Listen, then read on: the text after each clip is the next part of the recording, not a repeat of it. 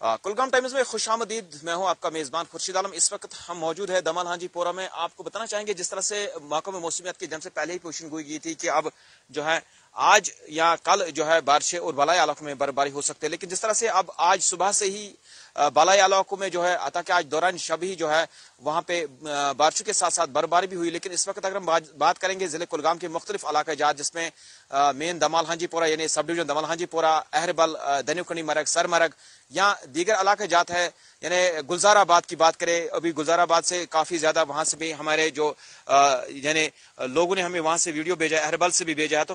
मुतद इलाकों से जो हमारे पास इंफॉर्मेशन आई है, जो हमारे पास रिपोर्ट्स आए हैं तो काफ़ी ज़्यादा बर्फबारी अभी जो ऊपरी इलाकों में इस वक्त हो रही है नूराबाद के जो, यानी धन्यकुंडी मरग हो सरमरग हो, या इधर नागाम हो, इधर लंगखुल, या दीगर इलाके जहाँ जितने भी है, इसके साथ साथ अगर बात करें, शुपियन में भी जो है, अभी हमारे पास जो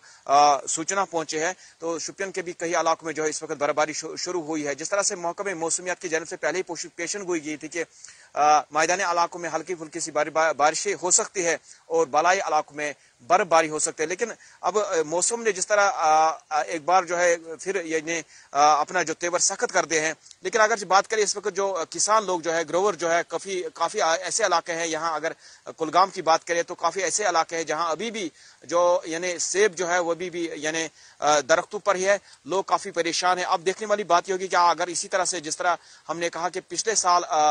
यानी अचानक जो बर्फबारी हुई थी, जिसकी वजह से काफ़ी ज़्यादा फ्रूट सनत को नुकसान पहुँचा था। लेकिन अगरचे इस साल पहले ही लोग जो है, परेशान थे कि इस हवाले से कि महकमे मौसमियात की जो पेशन गोई की थी। लेकिन अगरचे लोग पहले से ही परेशान थे कि जो इस वक्त इस साल का जो फ्रूट था, काफ़ी मार्केट में काफ़ी ज़्यादा जो गिरावटें आई थी, उससे भी लोग काफ़ी ज़्यादा परेशान थे, लेकिन आज एक बार फिर जो महकमे यानी मौसमियाती जो पेशन की गोई की थी, लेकिन जो मौसम ने फिर एक बार जो आज सख्त तेवर दिखाए कि अब बर्फबारी शुरू हो चुकी है, लेकिन अब लोग भी काफ़ी ज़्यादा परेशान। लेकिन हम आपसे गुजारिश करना चाहेंगे कि कुलगाम टाइम्स के हम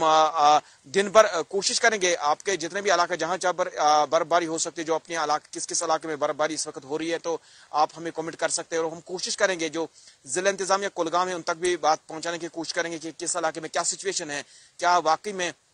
जिस तरह से महकमे मौसमियात की जान से जो पेशेंट गुई की थी कि क्या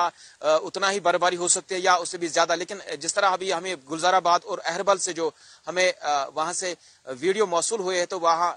इस वक्त जो देखा जा रहा है कि अच्छा खासा वहाँ पे बर्फबारी हो रही है। लेकिन उसके साथ साथ ये कहेंगे कि आप कुलगाम के मुतद इलाके जात में, या इधर अगर बात करें जो यानी कोंड इलाका है, वहाँ पर भी इस वक्त बर्फबारी इस वक्त शुरू हुई है। तो मुतद इलाकों में इस वक्त अगर कहें कि कुलगाम के साथ साथ शुपियन भी, शुपियन में भी इस वक्त बर्फबारी शुरू हो चुकी है।